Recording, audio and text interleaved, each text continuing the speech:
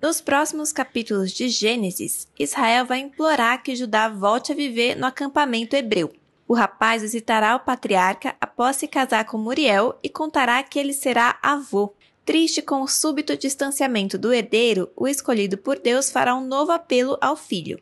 Saiba como será o reencontro de pai e filho aqui com Notícias da TV. Deixe seu joinha e se inscreva no canal para não perder nada.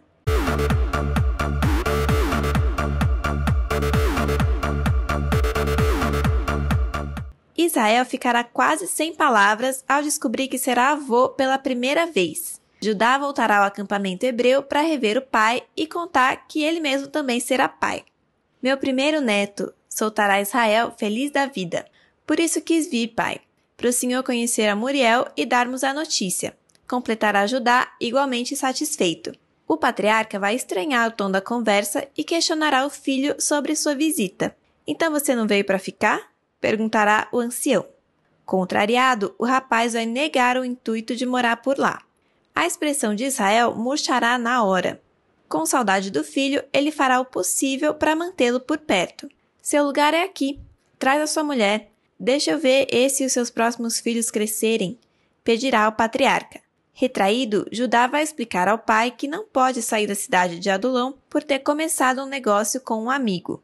Na verdade, o rapaz não quer voltar para o convívio da família por saber a verdade sobre o paradeiro de José. Ele e os irmãos venderam o jovem para um mercador de escravos.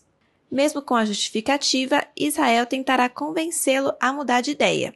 Honesto, o veterano vai contar como seus dias têm sido difíceis no acampamento.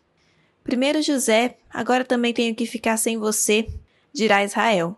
Triste, o homem continuará falando que Judá faz muita falta e que, diferente dos irmãos, ele é o mais centrado. Você é o que mais tem a cabeça no lugar. Já até casou, começou a formar uma família, enquanto seus irmãos fazem o quê? Continuam vivendo como se fossem meninos. Finalizará Israel. O personagem de Tiago Rodrigues vai tentar acalmar o pai, dizendo que não mora longe e sempre que puder vai visitá-lo. Mas o patriarca não vai desistir da ideia e tentará entender os motivos que fizeram o rapaz se afastar da família. Fica, meu filho, eu preciso de você aqui. Pedirá mais uma vez.